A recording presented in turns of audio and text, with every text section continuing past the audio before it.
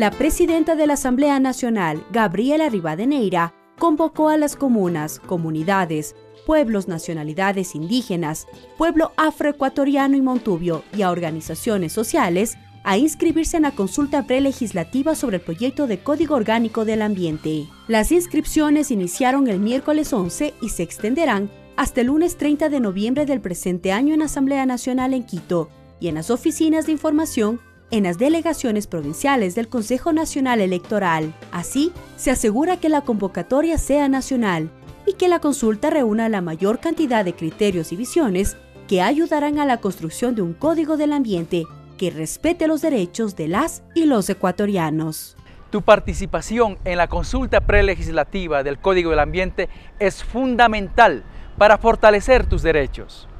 Ven, inscríbete y participa activamente en este proceso importante que beneficia a las comunas, comunidades, pueblos y nacionalidades. Recordamos que los temas a consulta prelegislativa se refieren a la propiedad y posesión de tierras comunitarias dentro del Sistema Nacional de Áreas Protegidas, conservación y manejo sostenible de la biodiversidad y recursos naturales, protección, mantenimiento y desarrollo de los conocimientos colectivos asociados a la biodiversidad y saberes, prácticas y tradiciones ancestrales y culturales.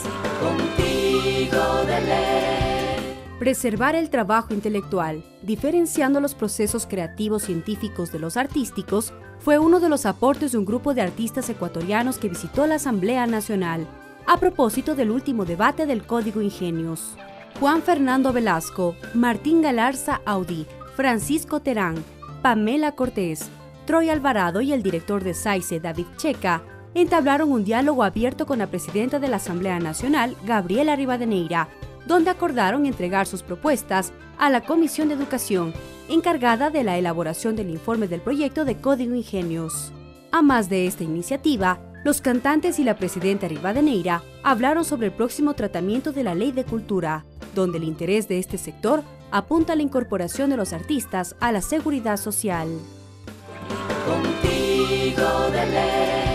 Durante cuatro meses la Comisión de Educación, Cultura, Ciencia y Tecnología de la Asamblea Nacional socializó el Código Ingenios y durante esta etapa recibió las propuestas de 40 sectores relacionados al ámbito de la investigación, de la innovación tecnológica, compositores, artistas, entre otros. Asimismo, en siete jornadas de trabajo, la comisión elaboró el primer informe para que sea debatido en el Pleno, que tuvo una continuidad de varios días y donde se recibieron a varios ciudadanos en comisión general.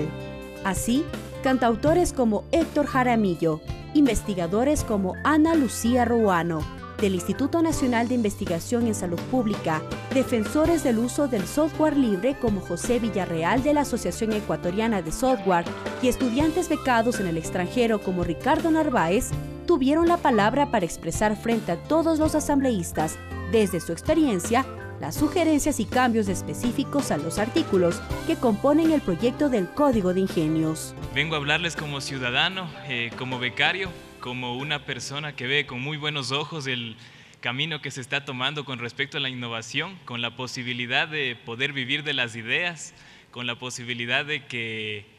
cada vez eh, se fomente la creatividad,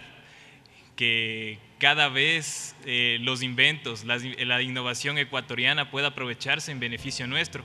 Entre las temáticas que han copado el debate están los relacionados a la protección de las creaciones y derechos de autor, cuya ley actual se derogaría con el código, los conocimientos tradicionales y los saberes ancestrales que se trasladan a consulta prelegislativa a comunas, comunidades y pueblos indígenas, afroecuatorianos y montubios, y la soberanía tecnológica, en lo relacionado al impulso al uso y a la producción nacional de software libre. La presidenta de la Asamblea, Gabriela Rivadeneira, intervino en el Pleno en su calidad de asambleísta nacional. El código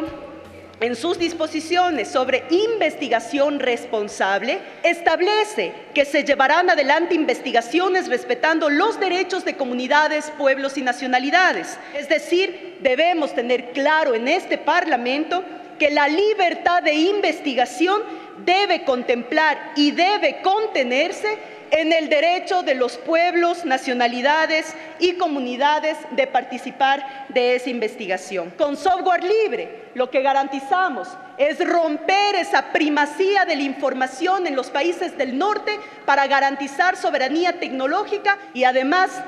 el resguardo de la información de, de nosotros, los ciudadanos y ciudadanas, con políticas propias y nacionales. Por eso es que yo considero, señor presidente de la Comisión, que debemos brindar a los usuarios una garantía de que cuando compren un computador, una tablet, un celular, este pueda funcionar con software libre, sin verse obligado a instalarlo por su cuenta. El Pleno de la Asamblea Nacional decidió que el proyecto de Código Ingenios pase a consulta prelegislativa. La Asamblea Nacional está contigo.